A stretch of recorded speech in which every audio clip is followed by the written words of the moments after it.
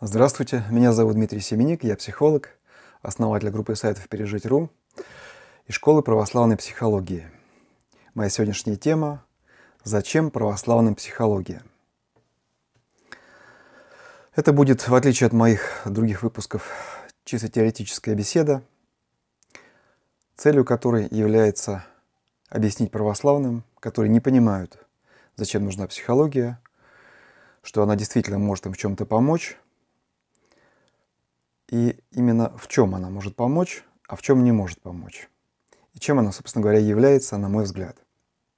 Вообще, все, что я буду говорить, является моим частным мнением. На самом деле, у каждого психолога по любому вопросу может быть свое собственное мнение, отличающееся от мнения всех остальных психологов. И дальше я вам объясню почему. Начну я с другого. Если вы считаете, что в православии есть все, что нужно для счастья и душевного благополучия человека, то я вас прекрасно понимаю. Если вы считаете, что психология, какая-то там психология не может ничего дать вам еще, мне очень знакомы ваши чувства. Потому что когда я воцерковился очень много лет назад, вообще есть разные пути воцерковления. Вот мой путь воцерковления выглядел так, что я с самого начала, с первого дня своей церковной жизни, не только стал посещать все богослужения субботние и воскресные, но и стал очень активно читать святых отцов. И я был просто поражен в самое сердце тем, что я там открыл. Как у человека пишущего, меня, конечно, порадовал слог, порадовало качество текста святых отцов. Даже в переводах, там, видимо, очень хорошие люди переводили, грамотные, литературно одаренные. Но больше всего меня, конечно, поразило содержание. Мне показалось, что я нашел все ответы на все вопросы, которые меня очень сильно мучили до вот этого самого моего момента воцерковления, который произошел лет в 27 моих. И меня это настолько поразило, настолько обрадовало. Я был уверен, что я нашел такой прекрасный, бесценный клад, что я, конечно, захотел сразу поделиться с другими людьми. Сделал сайт Иоанн.ру. Из всех многочисленных различных собраний текстов святых отцов он отличался тем, что там были достаточно короткие цитаты по очень узким конкретным вопросам духовной жизни. Не так, что, допустим, там любовь и 50 страниц про любовь, а разные, допустим, там 50 вопросов, касающихся любви. И ответы святых отцов на эти вопросы именно в контексте самих вопросов, потому что ведь текст без относительного вопроса, он может быть неправильно понят, он может быть, он может э, давать, по сути дела, несколько иную трактовку, чем имел в виду тот человек, который отвечал, потому что он отвечал на конкретный вопрос. Вот, э, тогда еще 20 лет назад вышли первые книги по моему сайту, книги «Душевный лекарь». Вот это вот э, издание однотомное, восьмитомное издание также. Многие люди знают, потому что оно уже вышло сотнями тысяч экземпляров, сотнями тысяч томов и продолжает выходить. То есть святых отцов я знаю очень хорошо и был абсолютно уверен, что в них есть все. И действительно, конечно, моя жизнь стала гораздо легче, гораздо счастливее. И я понял многие взаимосвязи, то есть, что называется, законы духовной жизни, то есть взаимосвязи между нашими поступками и тем, как мы себя потом чувствуем. я никак не думал тогда, что я могу открыть что-то еще – но 14 лет назад начался мой путь психологии. Начался он с того, что я создал сайт «Пережить.ру» для людей, переживших расставание. Я в этот момент сам пережил расставание, безо всякой психологии, чисто по святым отцам, с использованием правильно направленной молитвы. Я пережил очень быстро и легко. Я был уверен, что я знаю все о переживании расставания, могу помочь людям в этом – а я видел в этот момент людей, очень которых очень тяжело переживали расставание, которые находились на грани суицида. Мне, конечно, захотелось им очень помочь, и очень захотелось им помочь. И а, когда я создавал этот сайт, я был уверен, что я знаю все, что нужно вкладывать, а, все смыслы, которые нужно вкладывать в материал этих сайтов. Но так как я понимал, что не все люди церковные, не все люди благосклонно относятся к священникам и вообще к людям верующим, поэтому я надеялся, что буду эту информацию доносить не только через священников, но и через православных психологов. Я начал брать э, интервью у православных психологов и священников. И вот в этот же период я впервые услышал от психолога Ирины Карпенко, когда я брал у нее интервью, утверждение о том, что на самом деле многие церковные люди не могут нормально воцерковиться, жить нормальной духовной жизнью, потому что им мешают некие психологические проблемы. В тот момент мне показалось это просто святотатством. Как так какие-то психологические проблемы могут помешать церковным людям быть с Богом и получать всю эту духовную пользу, которую я тогда получал, и мы все с вами получаем. С тех пор прошло много времени, я прошел большой путь узнавания нового для меня, узнавания того, что психология может дать людям. Мое знакомство с психологией началось не с теоретического изучения, не с вуза, вуз, вуз я окончил потом, а с бесед с психологами-практиками, с бесед чисто на практическом уровне, из которых я узнавал именно то, как ту или иную конкретную проблему человека, то ли кризис какой-то, то ли какая-то внутренняя психологическая проблема, можно разрешить. И благодаря этому постепенно мое мнение изменилось, и я понял, что психолог Ирина Карпенко была совершенно права. Я сделаю небольшое отступление и объясню, э, что такое, на мой взгляд, психология. Психология, на мой взгляд, не является наукой. Да, там применяются некоторые научные методы к исследованиям. И только. Во всем остальном это собрание человеческого опыта. Многие люди, сотни тысяч человек искали пути помощи людям в их различных душевных проблемах. В кризисных ситуациях, в хронических психологических проблемах. И они шли самыми разными путями, накапливали свои собственные представления о том, почему у людей возникают эти проблемы и как им помочь. Все эти пути совершенно разные. То есть под свои, на основе своих э, теоретических и практических изысканий эти люди, эти исследователи создавали свои теории. Вот собранием этих теорий и является психология.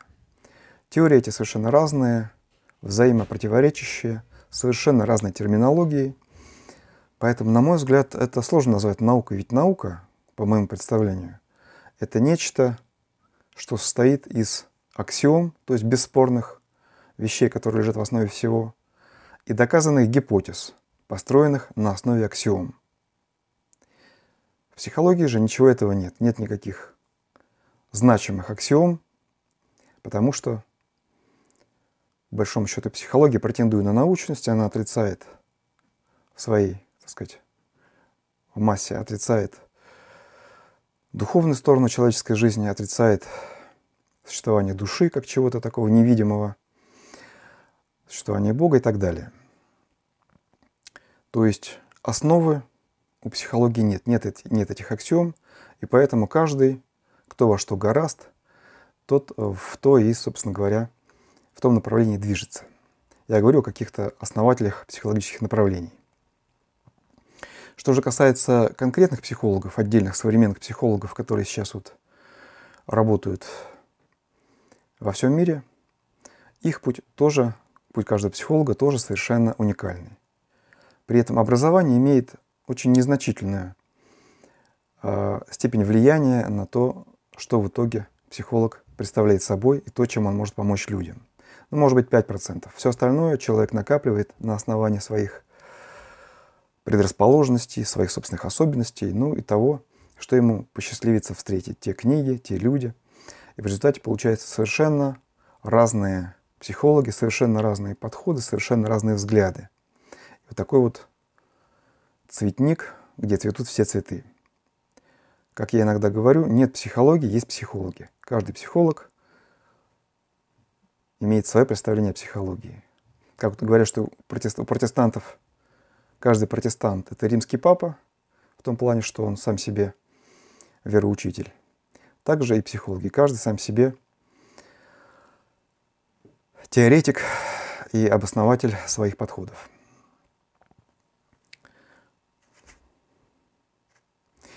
Что же при этом а, ценного психология накопила и почему она накопила что-то ценное, чего нет в православии?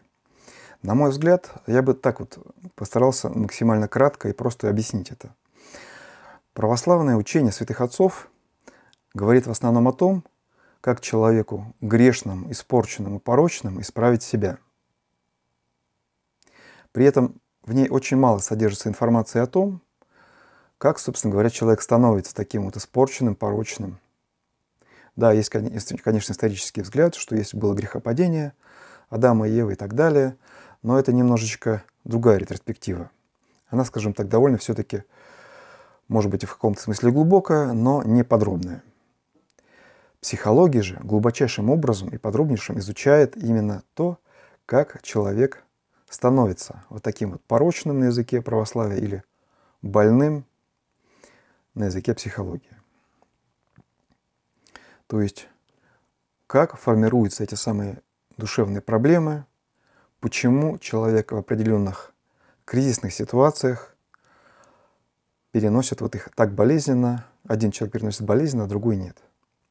То есть глубочайшим образом изучено механизм формирования наших душевных несовершенств. Да, они там по-другому называются, да, они не всегда правильно понимаются, но вот эта вот э, масса опыта изучения происхождения наших пороков и нашей боли, нашего страдания, она действительно колоссальна, и в ней есть очень много правильного, более-менее объективного и поэтому, поэтому полезное. Потому что, понимая, как формируется наша душевная проблема, мы имеем больше возможностей ее разрешить. И в психологии есть такие механизмы разрешения этих проблем, которых в православии нет. Именно механизмы в основном основанные на понимании происхождения. То есть это различная работа с прошлым. В этом нет ничего мистического, эзотерического, греховного. Это просто работа с некими структурами человека, которые сформированы были в прошлом, и через прошлое их зачастую гораздо легче и быстрее можно изменить, чем через настоящее, чем занимается православное учение. Ну, грубо говоря, если человек сидит в яме, вот можно православие представить как кого-то, кто тащит из этой ямы за руку сверху, а психологию можно представить как кого-то, кто подталкивает снизу. И при объединении этих двух направлений работы над собой можно получить гораздо более лучший результат, чем если использовать только православное учение.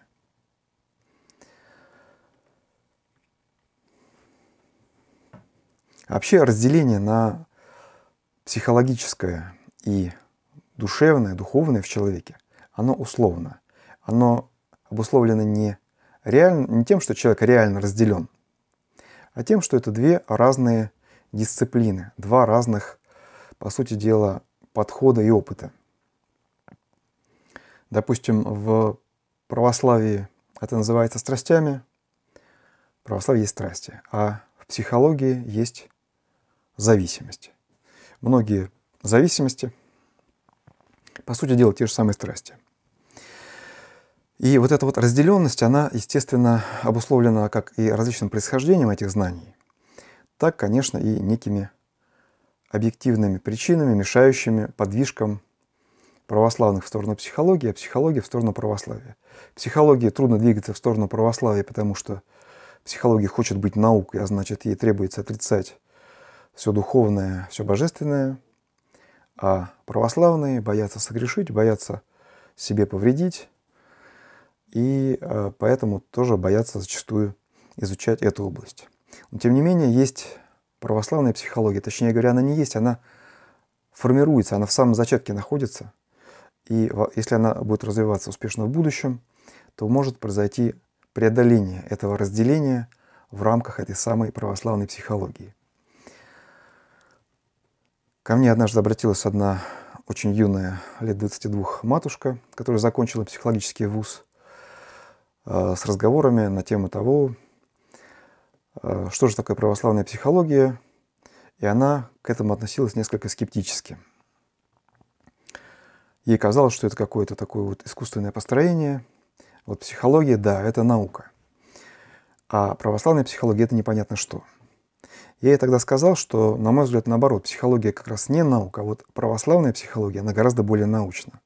Почему? Потому что понятно, что в православной психологии есть тот самый фундамент, которого не хватает психологии атеистической.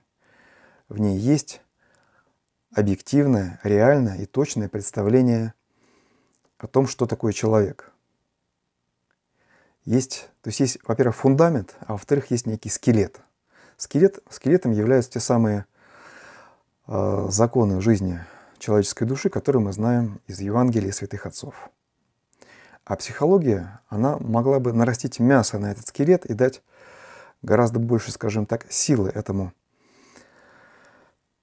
этому скажем так, э, движению человека к совершенству. Ведь, по сути дела, и психология в своих лучших проявлениях, и православие, оно имеет один и тот же вектор – движение человека к совершенству. И когда Христос говорил «будьте совершенны, как я», он не имел в виду какую-то узкую часть человека, он имел в виду человека целиком. Не так, что вот будьте в духовном совершенны, а в психологическом будьте больны и несчастны. Конечно, нет. Какое там совершенство, если ты имеешь в части своей личности пороки, которые тебя мучают. Пусть даже они не присутствуют в списке грехов, эти пороки. Но судя по боли, которую ты испытываешь, ты сам понимаешь, что это не отнюдь не сильная твоя сторона.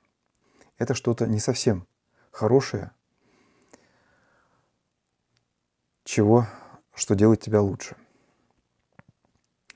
Но это все разговор о том, что может быть в будущем, о некой идеальном, идеальном подходе к преодолению душевных проблем человека – мы же разговор о том, что вы можете получить от психологии уже сейчас. Так вот, вы от психологии можете получить как раз то самое, о чем я тогда услышал впервые от Ирины Карпенко. Вы можете преодолеть некие психологические препятствия, которые мешают вам совершенствоваться в духовном. Вы испытываете затруднения в том, чтобы любить людей. Вы испытываете вы чувствуете себе, в себе враждебность. Вы, по сути дела, ненавидите себя. Вы очень сильно... Вы никак не можете смириться. Вы не можете смириться с различными обстоятельствами своей жизни. Вы несчастны в своей семейной жизни. Сейчас не буду вдаваться, там разные есть проблемы. И вот все вот это может быть преодолено гораздо легче и быстрее, если вы к своим духовным духовной работе над собой, к своей духовной борьбе добавите еще и некоторые важные моменты из психологии. Я в своих ближайших выпусках как раз буду говорить именно об этом. То есть буду говорить уже конкретно о том, какие проблемы и каким образом вы можете решить гораздо лучше и быстрее с помощью психологии. И в конечном итоге совершенствование, ведь э, совершен... заповедь о совершенстве – это не какая-то одна из многих заповедей. Это, по сути дела, главная заповедь, на мой взгляд. Ведь э, именно совершенство делает нас наследниками рая. Когда мы говорим «спастись», но ну, это общее и несколько непонятно, каким образом спастись. Так вот, ответ именно в этом. Спасает нас наше, наше совершенство. Рай для совершенных. Любовь – это свойство совершенства. Поэтому стоит как минимум узнать, поинтересоваться, чем психология может вам помочь в этом великом, самом главном пути к вашему душевному совершенству. Хотя бы на уровне изучения того, что дают православные психологи, что они говорят. опять-таки, православные психологи все разные. Но, по крайней мере, если они действительно православные, то они не причинят зла. Вот такая это моя вводная беседа.